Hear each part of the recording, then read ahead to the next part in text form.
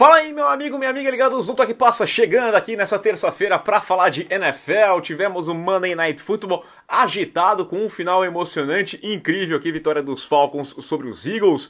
É isso aí, é o Kirk Cousins que vence em prime time, aparecendo já no começo da temporada. Teremos mais um prime time com ele na semana que vem.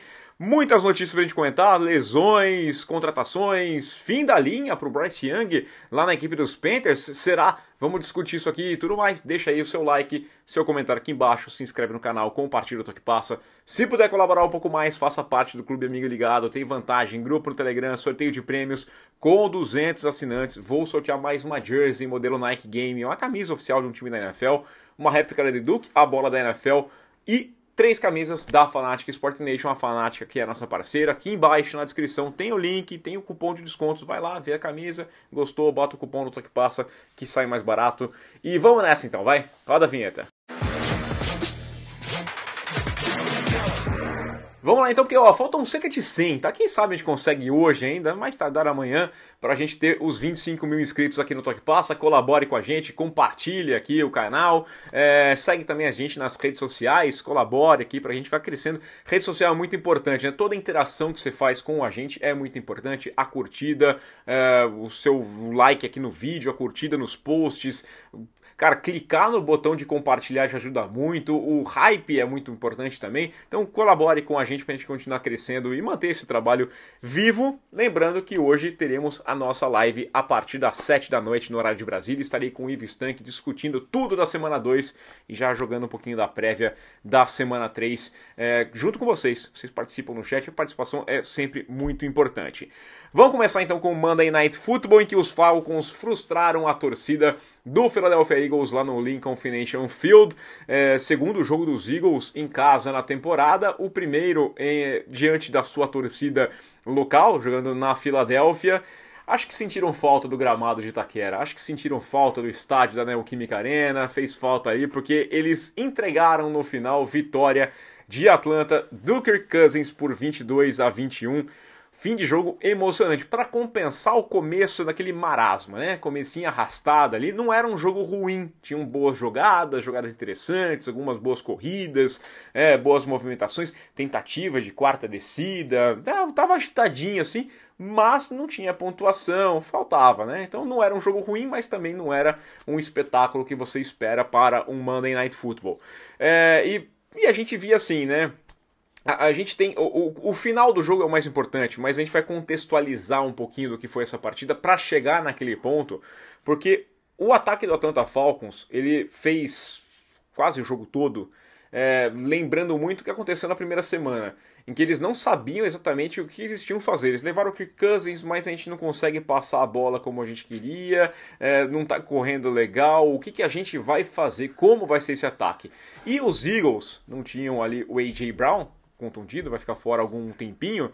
É, bom, jogava na história do passe curto, Jalen Hurts não forçando, não tinha um alvo em profundidade e apostando muito nas corridas, o que foi bom, deu certo, né? Então estava sendo suficiente para vencer a equipe do Atlanta Falcons, por mais que não tivesse um show.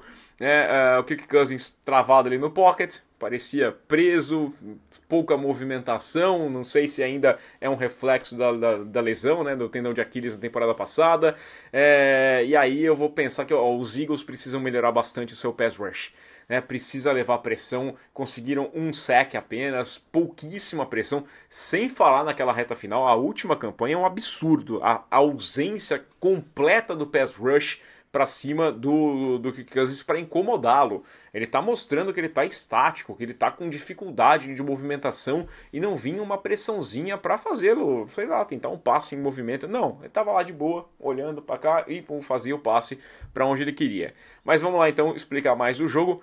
É, 7 a 6 para a equipe dos Falcons, dos Eagles, aliás, no final do primeiro tempo, e aí 9 a 7, né, com um field goal no comecinho do segundo tempo, tem uma terceira para três para os Eagles na linha de seis jardas já do campo de ataque, beiradinha ali da end zone. Cara, o Hurts faz um passe para Devonta Smith e ali me parecia muito claro um touchdown, tá? A bola na direção dele, perfeitinho. Parabéns para o Jesse Bates. Apareceu muito bem, primeira grande jogada dele no dia. Ele voltaria depois a aparecer lá no final, na última campanha. Mas ali ele salvou um touchdown que era muito claro faz a equipe dos, dos Eagles sair só com um field goal 10 a 9. É, os Falcons anotaram um touchdown, e aí os Eagles tiveram uma campanha que ali eu falei, hum, hum, aqui, aqui vai, né? Vai, agora vai, porque é uma campanha maravilhosa. 17 jogadas para percorrer 70 jardas, mais de 9 minutos queimados no relógio, já no segundo tempo, e o touchdown anotado, fica em vantagem. É, na sequência, os Falcons ficam em situação de quarta descida para uma jarda, ainda no campo de defesa. E, e cara, o Bijan Robinson é parado de forma absurda, muito bem mesmo. Então a defesa entrega para o Jalen Hurts a bola já no campo de ataque, menos de 6 minutos no relógio, é vantagem de 18 a 15, é gastar, gastar relógio, né? Vamos nessa. E aí vai correndo tudo bem, e, e é, o verbo é perfeito, o correndo tudo bem é tá ótimo. E aí, dentro do Ultimate Warning, vem a jogada que é a grande. Você a discussão toda desta terça-feira, né?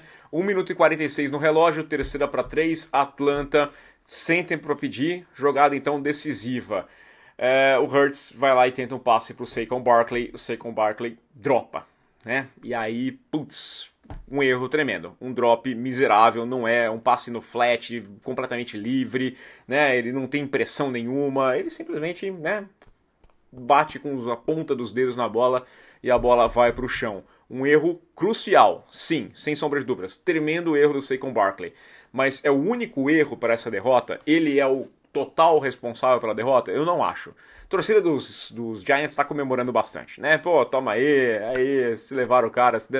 Tudo bem, faz parte, né? O rancorzinho ali é justo, é uma vingancinha, né? Por mais que eu acho que os Giants não tem muitos motivos para rir de outro que perdeu, mas ainda assim vale a pena, né? Torcedor tem que fazer esse papel mesmo.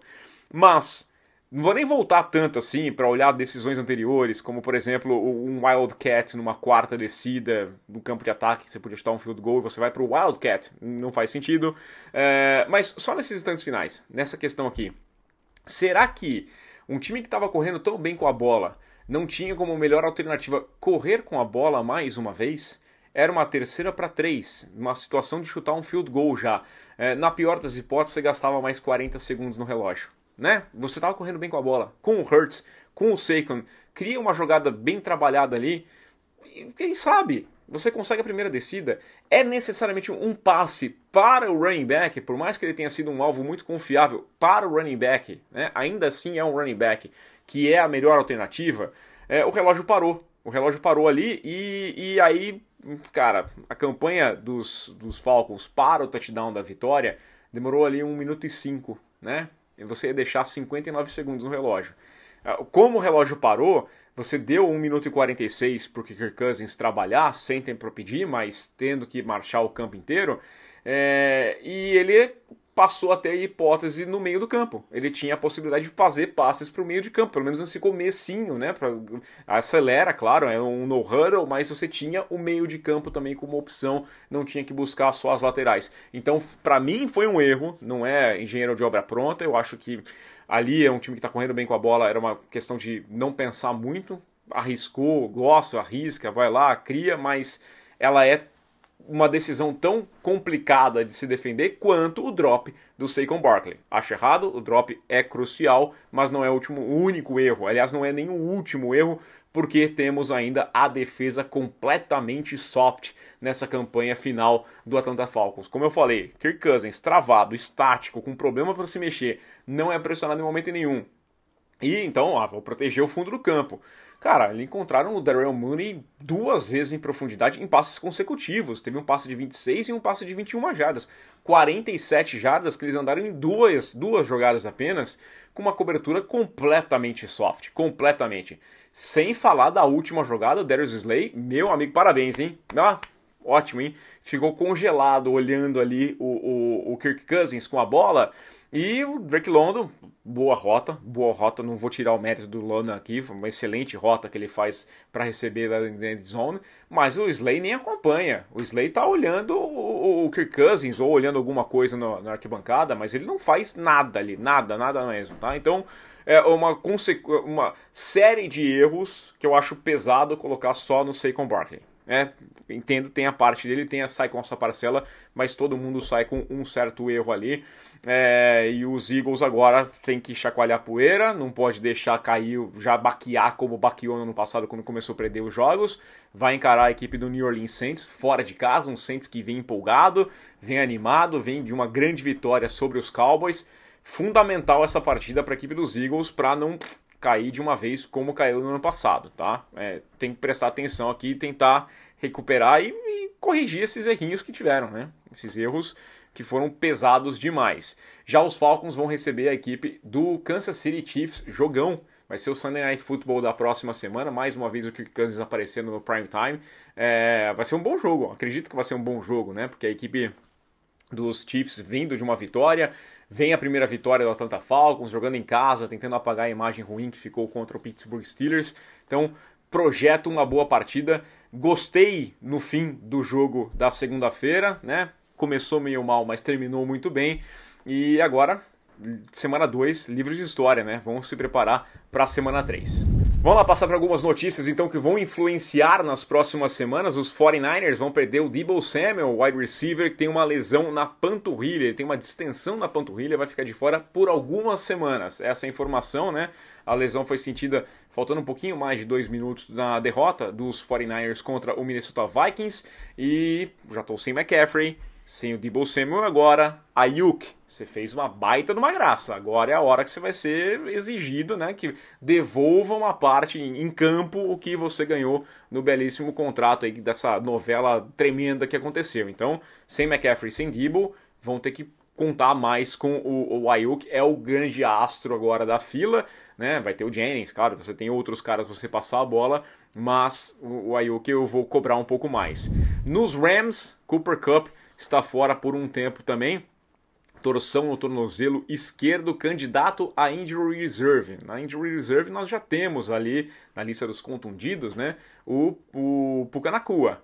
E aí começa a ficar chato. Você perde, você perde o Pucanacua, tudo bem, mas o Cup foi bem naquele jogo. E aí, no jogo seguinte, né, uma derrota tremenda para a equipe do Arizona Cardinals, você perde também o Cooper Cup. É, tem o, o guard, o Jonah, Jackson, com problema no ombro. O safety, o John Johnson III, também com problema no ombro. Esses outros dois jogadores também são candidatos a injury reserve.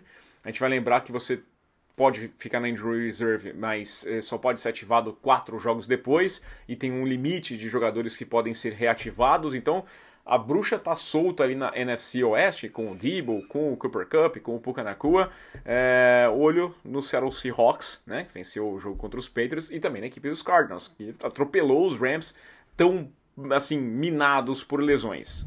Mais uma notícia de lesão: os Chiefs estão perdendo o running back Azaia Pacheco entre 6 e 8 semanas, né? Essa é a notícia. Ele saiu contundido no jogo contra o Cincinnati Bengals, minutos finais também da vitória do final de semana tem uma fratura na fíbula. Os exames de o, o, o raio-x do domingo já mostravam um pouco isso, passou por mais exames na segunda-feira e foi confirmado, vai ter que passar por cirurgia ainda nessa semana, e aí depois da cirurgia a gente tem uma noção melhor sobre o tempo de recuperação, né? dependendo da, da, da gravidade da, da lesão, é, a gente vai saber se são seis ou oito semanas sem o, o Azaia Pacheco, que vai para Injury Reserve os Chiefs vão testar, chamaram aí para uma visita o Karim Hunt, né? Nesta terça-feira mesmo, né? Hoje teríamos a visita do Karim Hunt, um velho conhecido da casa, mas vamos ver como é que ele tá, a condição física e tudo mais, é, porque resta pouca opção no elenco do Kansas City Chiefs. A gente vai lembrar que o Clyde Edwards Hiller foi colocado na lista dos com lesionados, mas não lesões relacionadas ao futebol, só pode voltar na semana 5. Enquanto isso, sobra o Submade Pirine, né, que é um veterano, e o calouro, o Carson Steele, né, que não foi draftado, são as opções de corredores nesse time, então Karim Hunt tem uma boa chance de entrar. No Miami Dolphins, Tua Tagovailoa não vai ser colocado na lista dos contundidos, a famosa Injury Reserve. É o assunto da terça-feira, é o Trending Topics dessa terça-feira, é Injury Reserve. É, a informação veio do técnico Mike McDaniel, na segunda-feira, falando que pelo menos neste momento não vai ser colocado na lista dos contundidos. Ele que ainda passa pelo protocolo de concussão, não sabemos quando terá condições de voltar. Muita discussão sobre seu futuro, se vai aposentar. As últimas informações são de que ele não quer se aposentar, que ele quer continuar sua carreira ainda, né? Mas acho que é uma questão muito mais médica do que vontade. Vontade ele obviamente tem. É, os Dolphins estão assinando com o Tyler Huntley, quarterback que estava no practice squad da equipe do Baltimore Ravens. E aí a gente lembra também a regrinha do practice squad. Qualquer time que tenha um jogador no practice squad, se outra equipe quer para ativá-lo nos 53 jogadores, não precisa nem conversar, vai lá, puxa o cara e ele vai para o elenco de 53 e ele tem que ficar no elenco de 53 jogadores por pelo menos três semanas. Você pode até cortar, mas aí você não pode substituí-lo, tá? Então tem essa questão. Huntley vai ocupar uma vaga no elenco de 53 por pelo menos três semanas. Enquanto isso, o Tua também está lá. Né? No jogo do final de semana, o Skyler Thompson vai ser o quarterback titular da equipe do Miami Dolphins. E para a gente fechar aqui, vamos falar do Carolina Panthers, que colocou o Bryce Young no banco de reservas. Andy Dalton será o titular no próximo jogo, nos próximos jogos, talvez, né? É estranho, porque no domingo, depois da derrota para os Chargers, o Dave Canales foi perguntado sobre a titularidade do Bryce Young e cravou: ele é o titular da equipe. E aí, menos de 24 horas depois, é, não, não, não, ele vai pro banco, eu vou colocar o Andy Dalton. Teria o David Tepper participado dessa decisão, colocado uma luzinha na cabeça do Canales? O Canales falou que não, né? Que é decisão dele, que ninguém falou nada disso.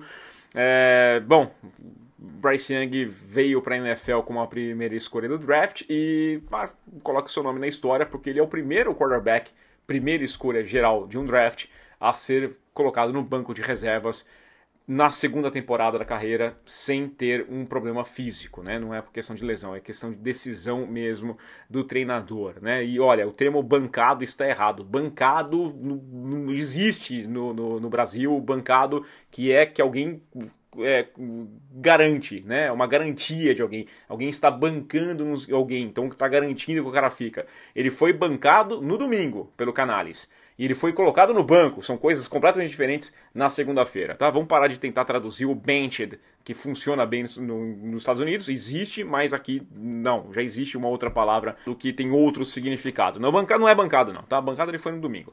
É, o Young lançou até aqui em dois jogos 245 jardas, nenhum passo para touchdown, três interceptações.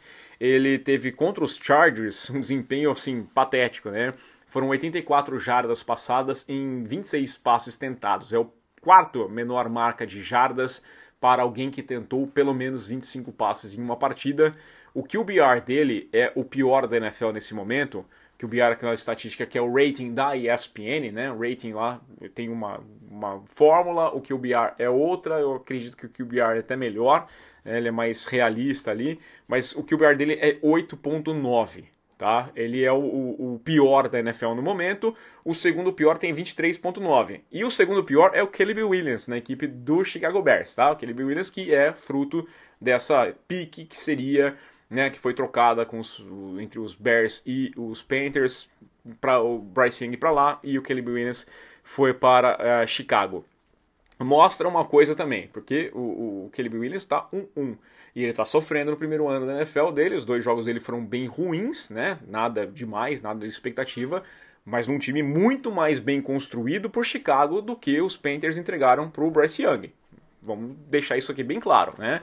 É, desde que a ESPN adotou essa estatística, o QBR, Dois jogadores tiveram QBR pior em dois jogos. Matthew Stafford teve o pior em duas partidas, com 5.6 lá em 2009 na equipe dos Lions. E em 2017, o Andy Dalton teve o pior começo com 7.4 na equipe dos Cincinnati Bengals. Né? Duas primeiras rodadas, 2023, 2024, uma segunda rodada do ano que vem.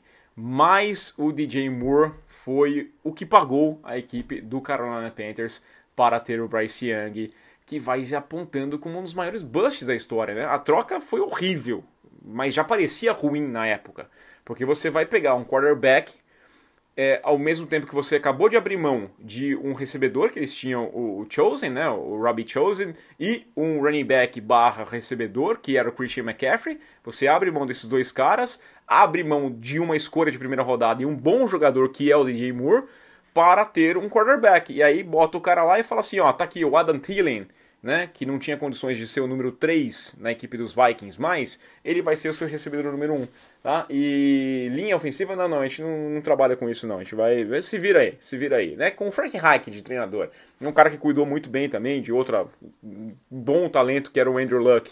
É, o time abriu mão de muitas peças importantes, a equipe dos Panthers é uma completa loucura, cara.